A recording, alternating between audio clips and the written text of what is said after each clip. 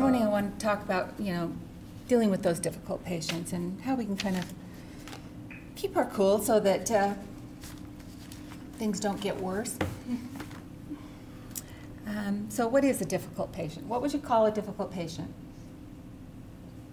Confrontational. Complications, yeah. Yeah, well, it's okay. I got answers for us.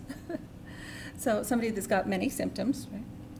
Um, severe, yes, that could be um, complications. Um, underlying mental disorders, they're less functional, hard to satisfy. Doesn't matter what you do. Somebody that's rude or angry, um, complains a lot, non-compliant, ungrateful, abrasive personality. They're overly dependent, you know, like um, lots of phone calls. Every time you turn around, there's another telephone message from them, lots of appointments. Takes a lot of your clinic time. Litigious, we've had these people before. So basically, um, uh, according to the Journal of Internal Medicine, this is how they define it, which is basically what we were talking about. More symptoms, severe underlying mental disorder, less functional. Um, in a study by um, Hahn, I believe it was, they figured that about 15% of the patients, adult patients, are um, termed like the difficult patient. They're meeting that, they're meeting this definition. And, but this is a, a statement from a, a difficult patient, somebody that knew that they were labeled a difficult patient. And I thought this was great because um, the ophthalm their ophthalmologist is the doctor that they've identified as the one that they really trust. And you, I'll let you read this. But what I love about this is the very end. I don't want to be a difficult patient, but I don't know any other way to be. So, but I love this. Here's another quote from a patient. A doc, the best docs are the ones that's going to listen to my complex history and be a partner with me. You know, trusting that I can understand what's going on and be well informed. And then as far as the non-compliant patient, well, resistance only happens if you push back. If they're, you know, you can give them all the medicines in the world, but if they're not going to take it, that's still their choice, right? So it's the pushing back that, that creates the problem. And uh, I love this. Over half of the prescriptions that are written are either not taken or not taken correctly. So, so what are some of the reasons why patients are non-compliant? What, what do they give you when you talk to them? They're worried. Yeah, yeah, exactly. Um, some of the reasons that I've heard, they forgot. I can't remember to take it.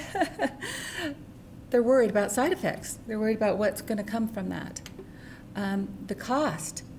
You know, sometimes they don't realize when they say, yeah, sure, give me the prescription.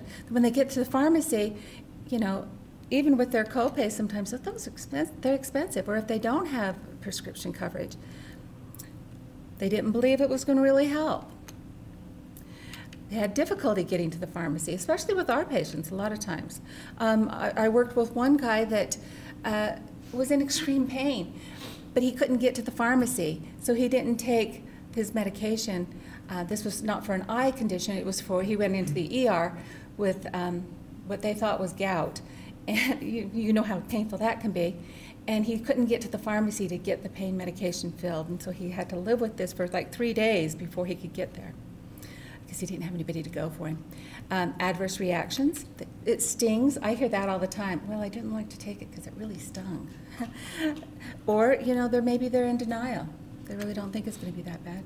Or depression where they can't, they don't have the energy to do something for themselves. And then, you know, what prevents a patient from following the treatment plan that you've set out for them? Things that you believe that are going to help them in their condition, well, maybe it's not their plan. Is it a physical issue? Can they physically do it? We had one patient who was prescribed drops, but he also had a neurological condition where he didn't have the strength to actually get the drops in his eyes. And he was also kind of ataxic and he was having difficulty. So it was a physical issue. Is it a cognitive issue? Are they remembering? Are they able to remember?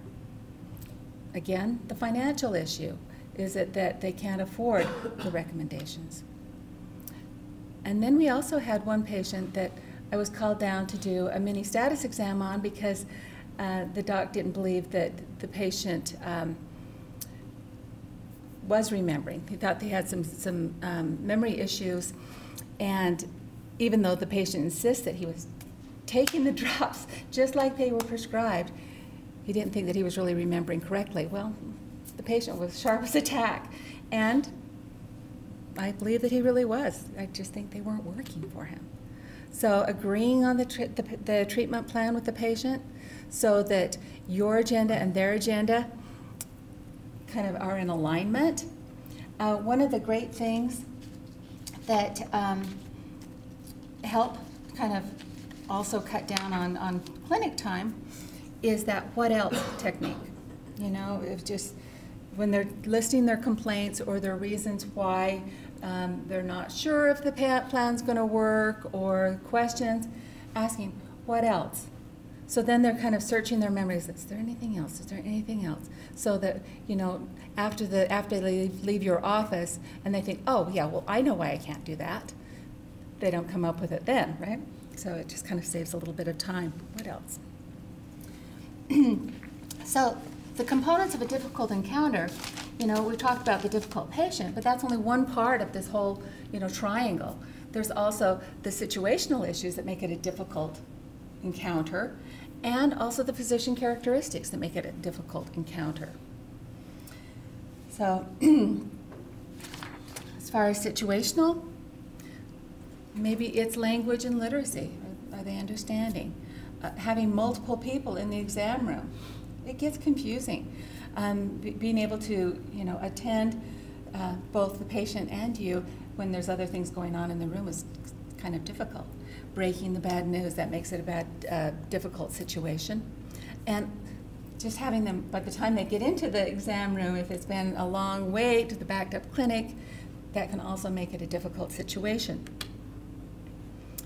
Physician characteristics, if you're overly tired or already harried, are angry and defensive, maybe it's not from that particular patient, but just being from coming from somebody else, maybe, or whatever. And of course, we this does happen. We do have physicians that are dogmatic or a little arrogant.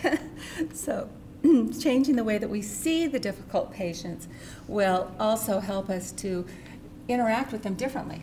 And once you interact with somebody differently, it has to change the way that they return the interactions.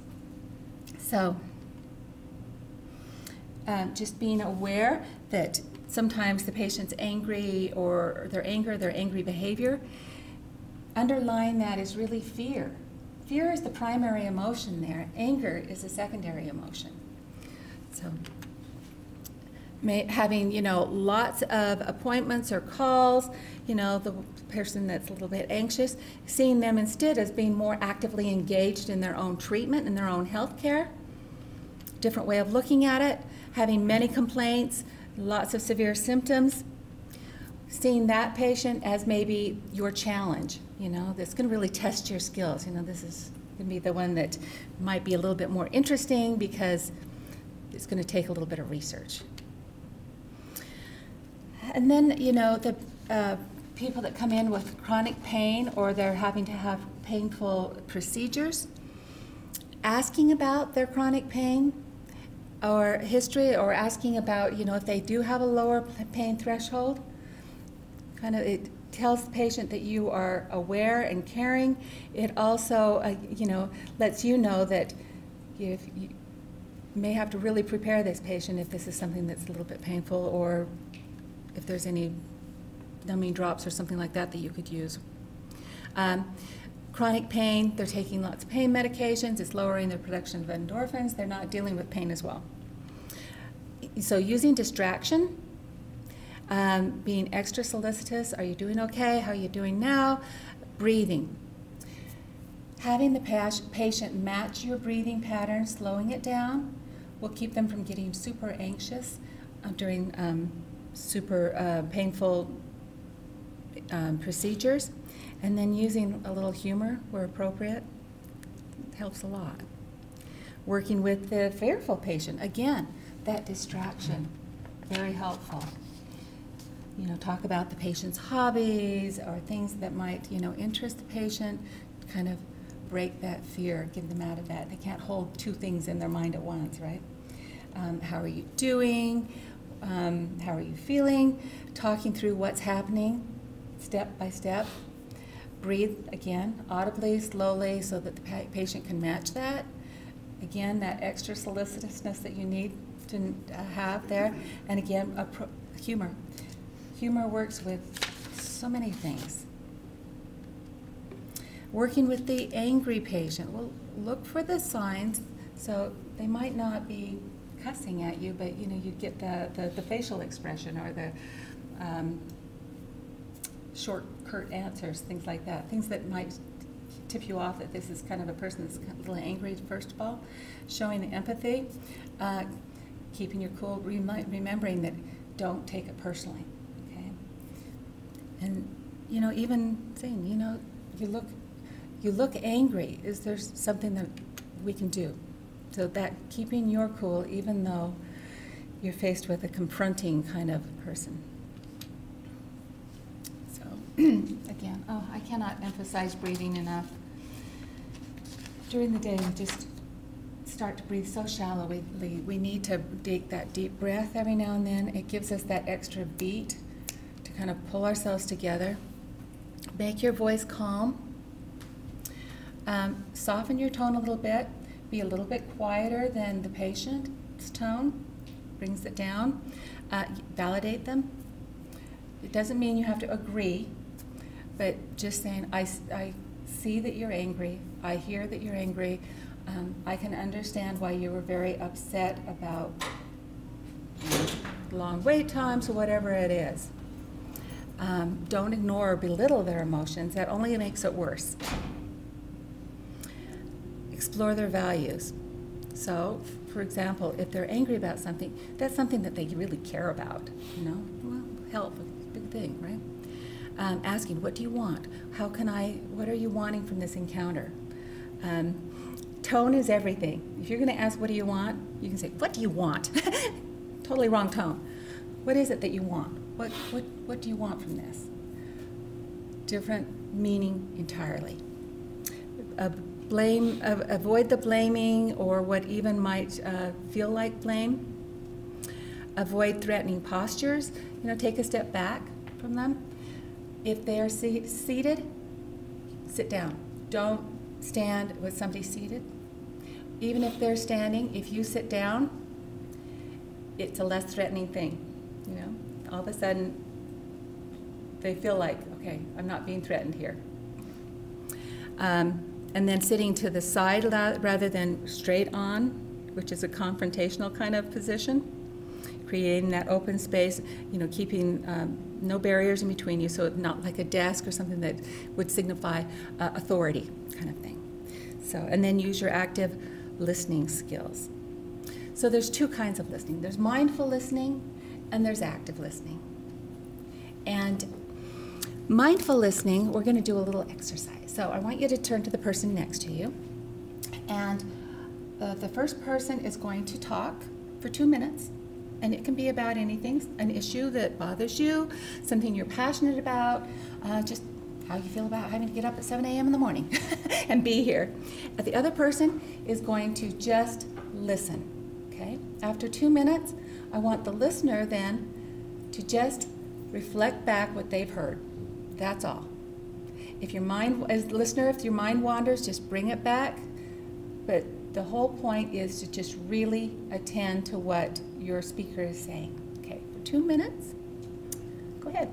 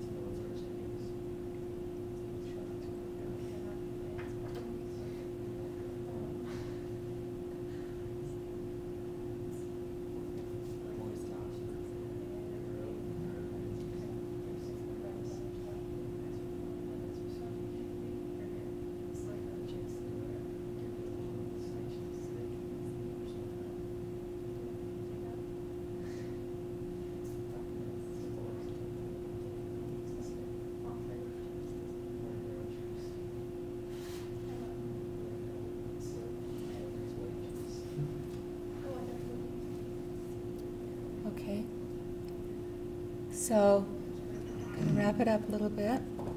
Now, for one minute, I want the listener to reflect back to the speaker what they've said. Go ahead.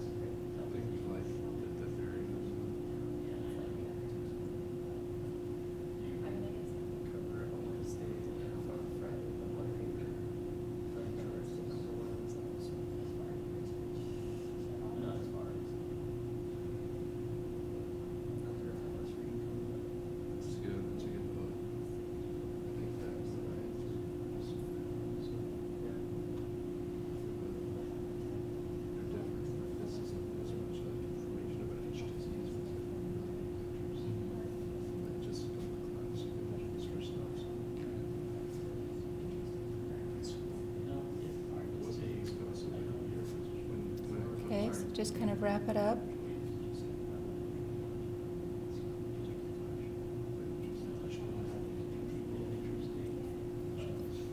Okay, so now I want the listener to reflect back what they just heard. Go ahead.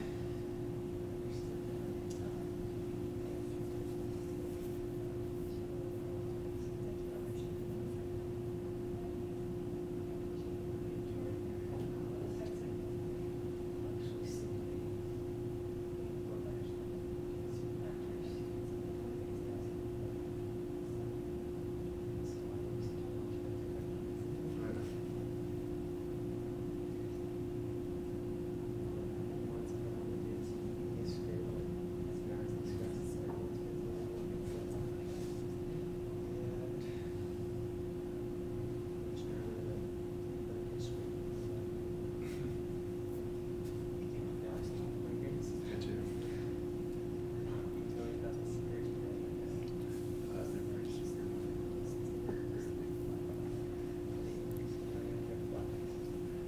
Okay, business.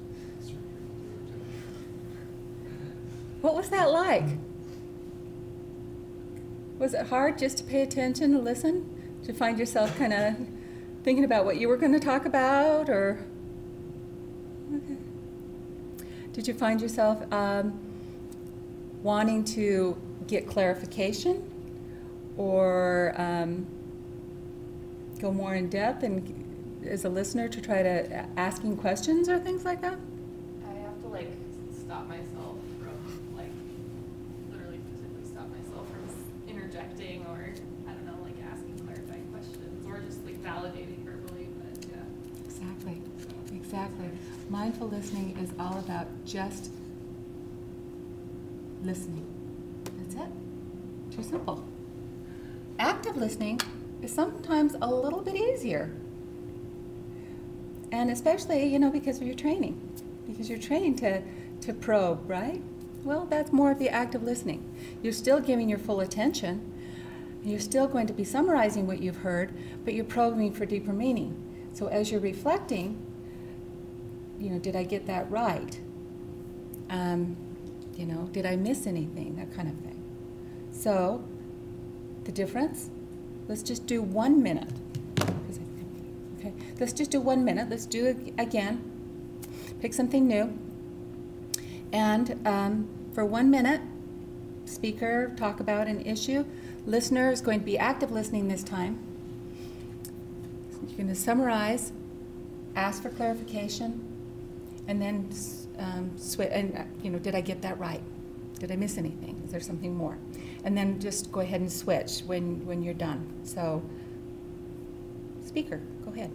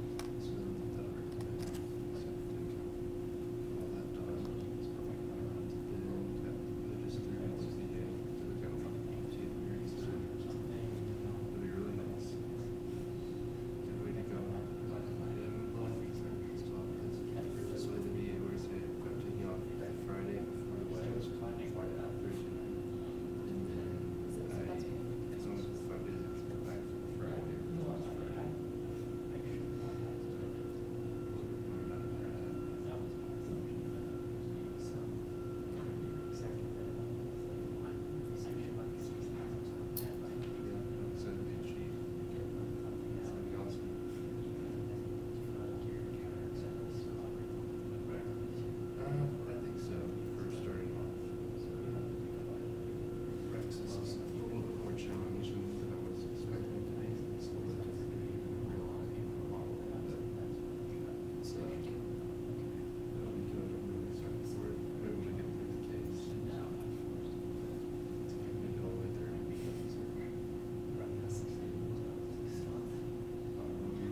If you haven't switched, go ahead and switch.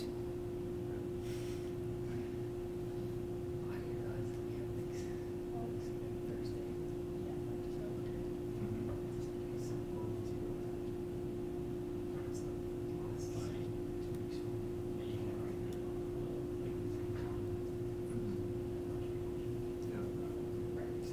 Very good. Oh, yeah.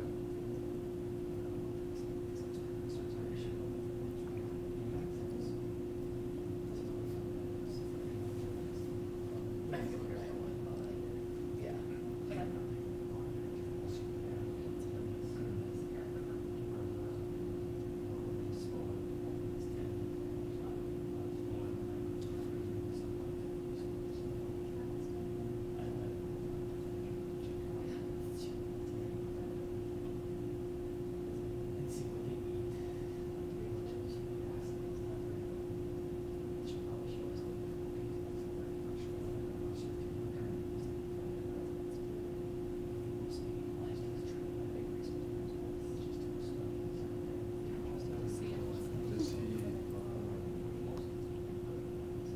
did they have a radio person down there?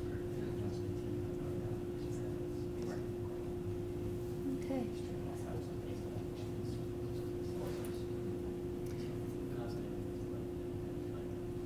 Go ahead and wrap it up.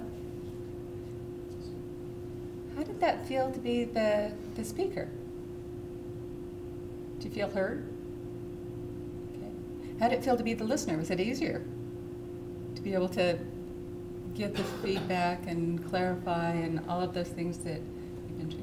Much easier, isn't it? You know, mindfulness sounds so easy, but it's not necessarily.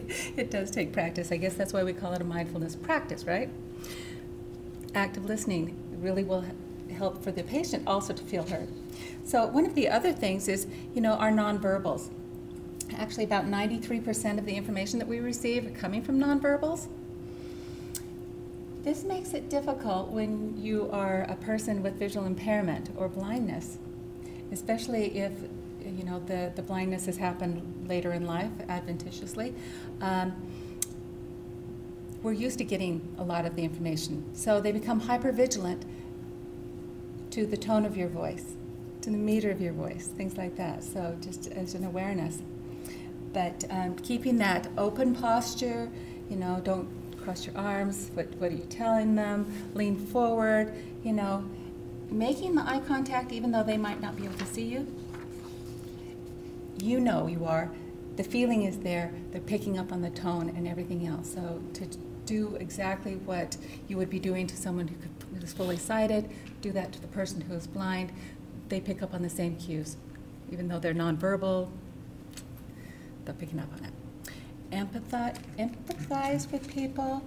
Um, this was really interesting. There was a study that was done, and they were asking physicians about, you know, empath- empathy and being able to empathize with their patient, you know, verbally. And they says, well, I, you know, I don't have time to do that, you know, or I don't know how. But what they found was that patients, and I want to get this right, so I'm going to read this. In this study by Levinson and his associates, uh, when discussing life-threatening diagnosis, the patients were offering many opportunities for an empathetic re- response. The doctors only responded 10% of the time. And it didn't take a lot of time. When the empathy was not provided, the patient again offered another opportunity for the, the doctor to empathize. And they kept doing that. It's like, "Oh, he's not getting it. So they keep offering these opportunities for the empathy. So when the empathy was provided, um, the patients ranged, uh, responses respond, ranged from one to two words up to one sentence. They felt heard and they were done. It Took less time. So, that empathy. So, offering reassurance to somebody, um, you know, even if you can't uh, assure a good outcome, the reassurance that, you know, we're going to watch this very carefully. I'm here with you. We're going to get through this together. Those kind of reassurances that that that you're with them, you're available, you care. That goes a long way as well in bringing down some of the um, the fears and the, the anxiety about it. And then knowing yourself, recognizing your own warning signs when you feel like your buttons are being pushed. You know, we are human. We have buttons. Sometimes they get pushed. So um, the feelings are your first clue that your buttons are being pushed. So examining your, um, your pattern of response. Okay, what is it about this that's pushing my button? you know, why am I feeling this way? Um, most of the patients that you find frustrating to deal with have a great deal of adversity in their own lives. They've got so much going on. It's, it's their stuff. It's not yours. So when you feel like your button's being pushed, think about it. Like, okay, is this, whose is this anyway? Maybe it's theirs, not yours. Um, elicit what their expectations are of the visit. You know, what, where is that coming from? Um, being clear to set your own expectations, your own boundaries, uh, and sticking to them, and being aware of that transference, that misplaced strong emotion that you might be feeling. So, to avoid overreacting, um, you attend to the patient after you first attended to yourself. If you feel yourself coming up with, you know, some kind of an emotion in that interaction, check in first, then check with the patient. Um, ide- identify the issue, the problem that's supposed to be addressed right there. Uh, acknowledging again the patient's feelings um, allows them to know, okay, he gets it. They don't have to keep giving you those cues again. Um, and then, you know, um, identifying is there something in particular that you're angry about, or are you just feeling really kind of angry in general? Sometimes they're just angry at the situation, not you. And that kind of helps to also not take it personally when you feel like this person's just mad in hell. Um, I think it's very helpful to, to ask the patient, what is it that you're asking me to do? Sometimes when it's not very clear, sometimes it's like they'll talk in a circle. And then being able to say, this is what I will do, this is what I won't do. And those are the boundaries. And then also, you know, specifying who's going to do what. Okay, so this is what I'm going to do. And then in return, you're going to make sure that you take this, um, you know, three times a day or whatever it is, and you're going to return in the clinic in one week, those kind of things. So everybody is this, this is what I'm doing, this is what you're doing, this is what I will do, this is what I won't do, and why. Those are boundaries. And boundaries can be, you know, you name what they, what your limits are, and they can be given gently. They don't have to be, you know, there's no way I'm going to do that. It doesn't have to be confronted. It's like, I'm sorry, I, I won't do that, or I, I can't do that, I won't do that, whatever it is. Call it what it is.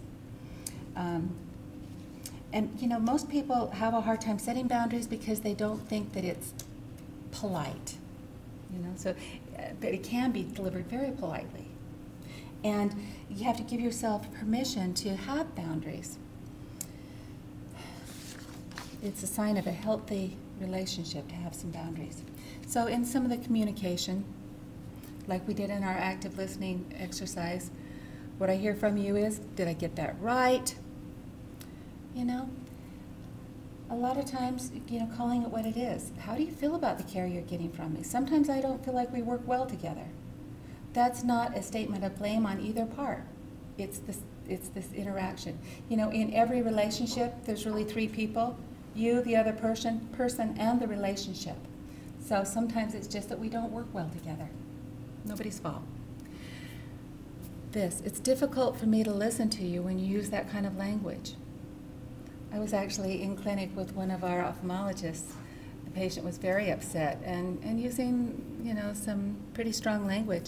And he used this exact phrase. Thought, yes. She calmed right down.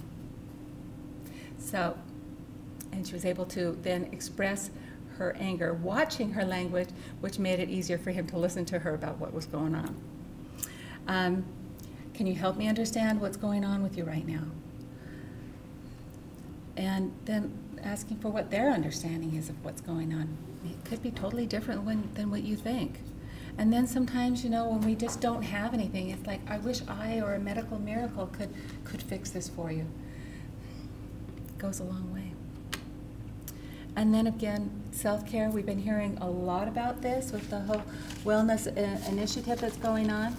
It's not self indulgent, indulgent, it's not selfish. We can't nurture others if we don't have anything to nurture them with. We have to take care of ourselves. So, making sure that we are getting what we need as well.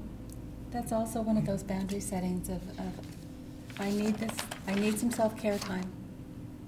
So, of course, my references, and thank you. Thank you for coming out early and listening. Is there any questions or anything else? Thank you. Any, okay, you know, and I'm always here if you just kind of need to process a difficult interaction or, you know, something that came up that you weren't expecting, little feelings about that patient. I'm here. Okay. Thanks for coming out early.